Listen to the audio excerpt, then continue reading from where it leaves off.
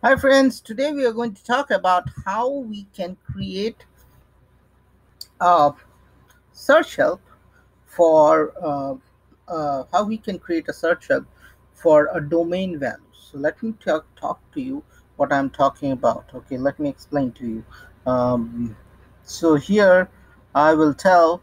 Uh, first, we are going to talk about uh, creating a um, domain okay so first we go to se11 okay and here we will create a domain. C we put cst here 11 and we put we just put test. Okay and we'll see. We just give a name. Zst11 test13 and we will say po type. So this is something related with po type. We are going to create one. And which is will make it character number of characters is one.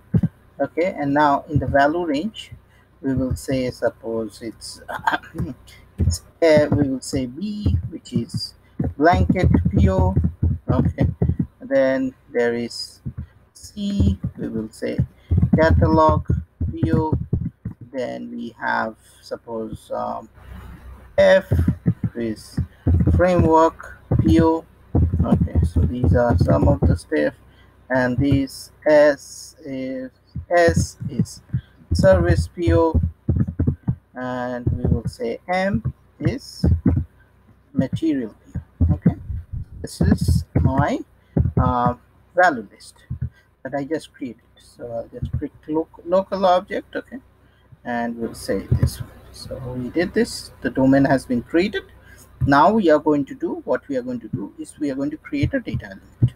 Okay so first domain is the first thing then we say se11 then i go to here i go to data type i'll just see create and already exist. Okay that's fine. So we just create one and we'll say data element.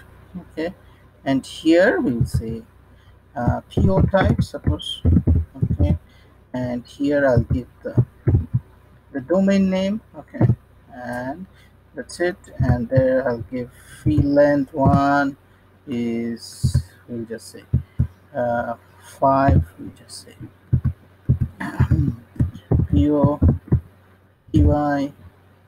and we'll just say 10 and we'll say PO type uh, 15 your type 20 just say purchase purchase order. Say activate and save it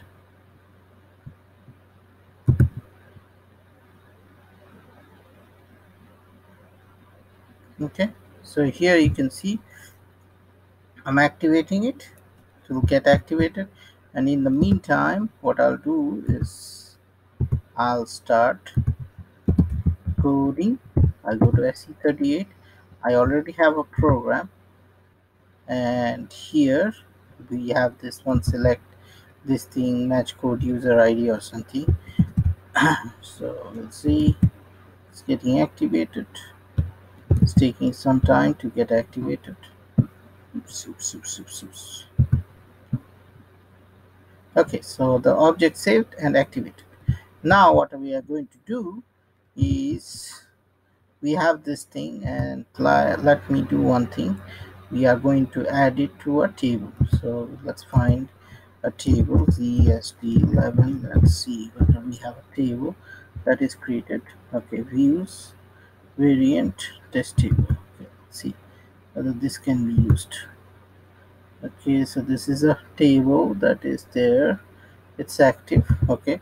So we will say po type okay? And we'll say key initial and we'll just put this one okay? Here you see and we click on activate okay? So now this is the table. Now what we are going to show you that here okay. So once we, this is done I'll just put tables. Uh, ZST11 test 1 3 ZST11 test 1 3 this is the table. And I'll just put here S your type uh, for ZST11 sorry. Test 1 3 uh, 1 3 and click yes and we will put PO type. PO type. Okay. And select options and select this one and it's activated now problem ZST 11 uh, now PO type is unknown so I think it was ZST11 underscore test. Okay I made a mistake here. Here is this. Should be activated now and it's now activated. Now we are going to hit the F8 button. Here you can see the drop down is come. Now here what happened is this drop down came because you have a value help means we have created a domain. Uh, so fixed value for select options it will show but for sometimes in the screen if i put it in the screen it will not show up okay? So for that you have to create a search help okay? You have to create a value help.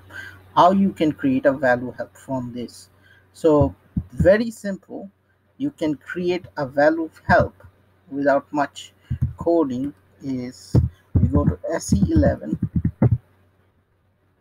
and if I go here this is the search help which is the search help for domains. What I am going to do is I'll go here I'll copy this value help. Okay. Uh, let me go. I'll copy this view sorry I'll copy this view. I'll copy uh, here.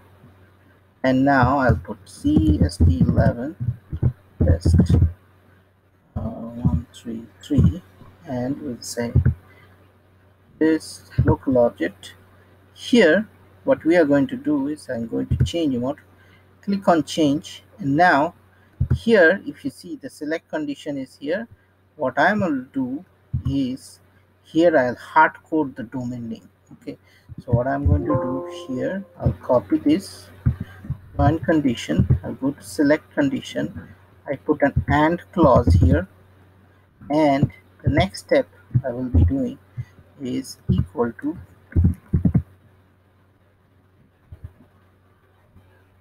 this. So in this way what you can do is here I'll just put this domain and now this will be variable. Okay so you can create we have created this view now. Here if I execute this I will get everything that this domain have. You see domain value limit and all those things. So it's pretty nice so here with this you can create a search help also now. So I'll just go here. I'll just go here. I'll copy this. And oops, what I'll be doing is I'll work a little smartly. I'll copy this and I'll create one search help exactly like this. And here what I'm going to do is I'll go here and I'll change this selection method and and I'll activate it. Now what happens is this search help this value help or whatever you can use it when you have fixed values. Okay so here you if you notice this one is there. And if you execute it you don't have to give anything. By default it will give you this because I have hard coded in the okay so so this is very helpful. So whenever you have a domain domain based value and you want to create a value help you can create using this option okay? So that's it. Stay tuned to my SAP channel and happy SAP learning and have a great day